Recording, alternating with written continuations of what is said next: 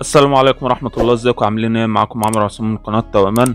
فيديو النهاردة هنتكلم عن مواعيد مباريات نانت الفرنسي القادمة.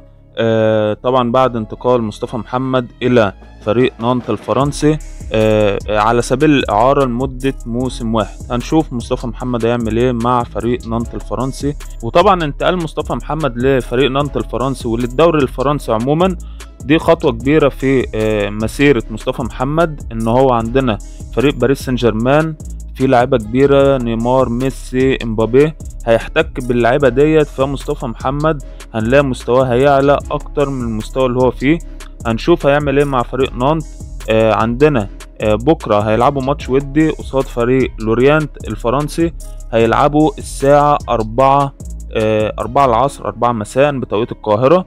آه عندنا يوم سبعة وعشرين سبعة هيلعبوا قصاد فريق رين الفرنسي الساعة خمسة مساء بتوقيت القاهرة وعندنا المباراة اللي بيترقبها الجماهير المصرية هو مباراة نانت وباريس سان جيرمان هيلعبوا الساعة تمانية إلا ربع بالليل بتوقيت القاهرة وده نهائي كأس السوبر الفرنسي. ودي هتبقى خطوة كبيرة لمصطفى محمد وأول مهمة صعبة يواجهها مع فريق نانت الفرنسي.